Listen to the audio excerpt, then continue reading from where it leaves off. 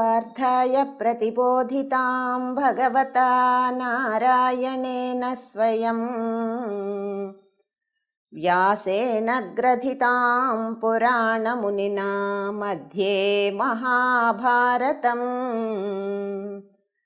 अद्वैतामृतवर्षिणीं भगवतीम् अष्टादशाध्यायिनीम् अम्ब त्वामनुसन्दधामि भगवद्गीते भवद्वेषिणीं। नमोऽस्तु ते व्यासविशालबुद्धे फुल्लारविन्दायतपत्रनेत्रा येन त्वया भारततैलपूर्णः प्रज्वालितो ज्ञानमयप्रदीपः। मूकं करोति वाचालं పంగుం లంఘయతే గిరిం యత్కృపాతమహం వందే పరమానందమాధవం. జై శ్రీరామ్ అండి. ఇప్పుడు మనం భగవద్గీత మూడవ అధ్యాయం కర్మయోగంలోని పదమూడవ శ్లోకాన్ని నేర్చుకుందాం. ఇప్పుడు ఈ శ్లోకాన్ని చిన్న చిన్న పదాలుగా చేసి నేను రెండుసార్లు చెప్తానండి. మొదటిసారి మీరు విని రెండవసారి నాతో పాటు చెప్పండి. यज्ञशिष्टा यज्ञशिष्टा शिनःसन्तः शिनःसन्तः मुच्यन्ते मुच्यन्ते सर्व सर्वल्बिषैः किल्बिषैः भुञ्जते ते। भुञ्जते ते त्वघं त्वघं पापाः पापाः। ये पचन्त्यात्मा ये पचन्त्यात्मा कारणात् कारणात्। इक यज्ञशिष्टासिनः सन्तः। విడదీసి చెప్పినప్పుడు యజ్ఞశిష్టాసిన సంతః. తు అఘం త్వఘం. తు అఘం త్వఘం. ఇక్కడ పచంతి ఆత్మకారణాత్. పచంతి ఆత్మకారణాత్. ఇప్పుడు మళ్ళీ. యజ్ఞశిష్టా యజ్ఞశిష్టా शिनःसन्तः शिनःसन्तः मुच्यन्ते मुच्यन्ते। सर्व सर्व किल्बिषैः किल्बिषैः। भुञ्जते ते भुञ्जते ते। त्वघं त्वघं పాపాహ పాపాహ. ఏ పచంత్యాత్మా ఏ పచంత్యాత్మా కారణాత్ కారణాత్. ఇప్పుడు ఈ శ్లోకాన్ని మొత్తం ఒక్కొక్క లైను నేను రెండుసార్లు చెప్తానండి. ఇది కూడా మొదటిసారి మీరు విని రెండోసారి నాతో పాటు చెప్పండి.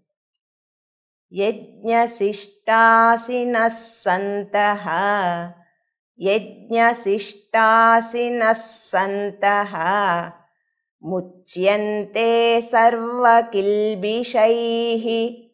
मुच्यन्ते सर्वकिल्बिषैः। भुञ्जते ते त्वघं पापाः।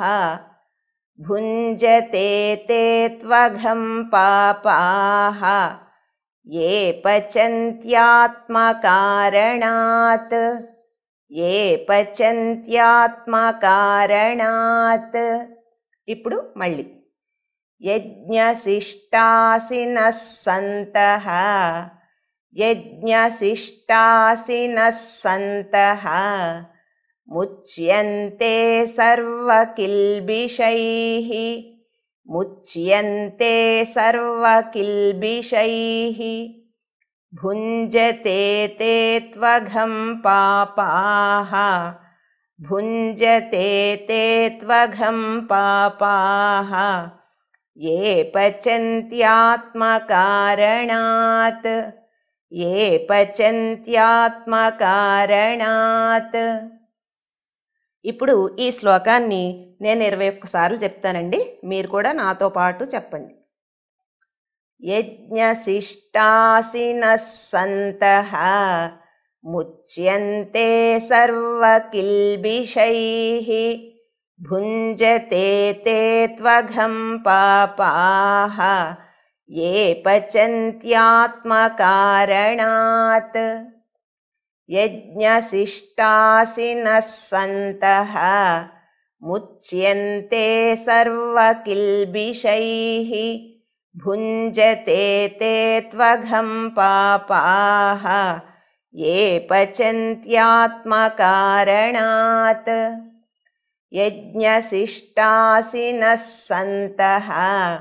मुच्यन्ते सर्वकिल्बिषैः भुञ्जते ते त्वघं पापाः ये पचन्त्यात्मकारणात्। यज्ञशिष्टासिनः सन्तः मुच्यन्ते सर्वकिल्बिषैः। भुञ्जते ते त्वघं पापाः ये पचन्त्यात्मकारणात् यज्ञशिष्टासिनः सन्तः। मुच्यन्ते सर्वकिल्बिषैः भुञ्जते ते त्वघं पापाः। ये पचन्त्यात्मकारणात् यज्ञशिष्टासिनः सन्तः। मुच्यन्ते सर्वकिल्बिषैः भुञ्जते ते त्वघं पापाः ये पचन्त्यात्मकारणात्। यज्ञशिष्टासिनः सन्तः मुच्यन्ते सर्वकिल्बिषैः भुञ्जते ते त्वघं पापाः ये पचन्त्यात्मकारणात् यज्ञशिष्टासिनः सन्तः मुच्यन्ते सर्वकिल्बिषैः भुञ्जते ते त्वघं पापाः ये पचन्त्यात्मकारणात्। यज्ञशिष्टासिनः सन्तः मुच्यन्ते सर्वकिल्बिषैः भुञ्जते ते त्वघं पापाः ये पचन्त्यात्मकारणात्।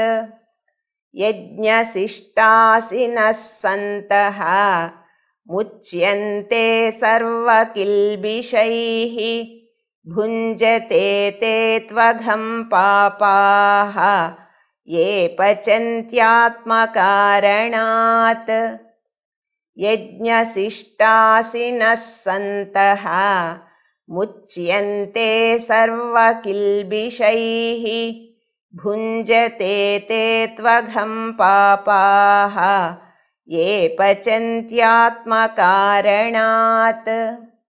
यज्ञशिष्टासिनः सन्तः मुच्यन्ते सर्वकिल्बिषैः भुञ्जते ते त्वघं पापाः।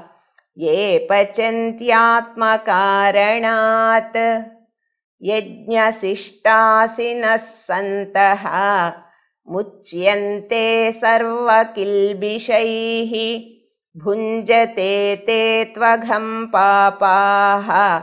ये पचन्त्यात्मकारणात् यज्ञशिष्टासिनः सन्तः मुच्यन्ते सर्वकिल्बिषैः भुञ्जते ते त्वघं पापाः। ये पचन्त्यात्मकारणात्। यज्ञशिष्टासिनः सन्तः मुच्यन्ते सर्वकिल्बिषैः भुञ्जते ते त्वघं पापाः ये पचन्त्यात्मकारणात्। यज्ञशिष्टासिनः सन्तः मुच्यन्ते सर्वकिल्बिषैः। भुञ्जते ते त्वघं पापाः ये पचन्त्यात्मकारणात् यज्ञशिष्टासिनः सन्तः। मुच्यन्ते सर्वकिल्बिषैः। भुञ्जते ते त्वघं पापाः। ये पचन्त्यात्मकारणात्। यज्ञशिष्टासिनः सन्तः। मुच्यन्ते सर्वकिल्बिषैः भुञ्जते ते त्वघं पापाः ये पचन्त्यात्मकारणात् यज्ञशिष्टासिनः सन्तः मुच्यन्ते सर्वकिल्बिषैः भुञ्जते ते त्वघं पापाः ये पचन्त्यात्मकारणात् यज्ञशिष्टासिनः सन्तः। मुच्यन्ते सर्वकिल्बिषैः। भुञ्जते ते त्वघं पापाः। ये पचन्त्यात्मकारणात्। यज्ञशिष्टासिनः सन्तः।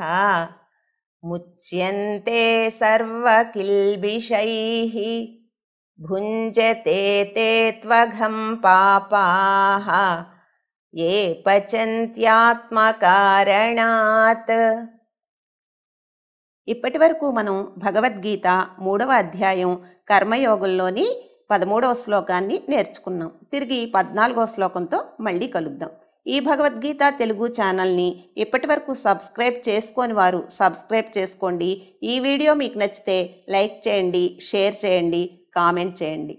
జై శ్రీరామ్.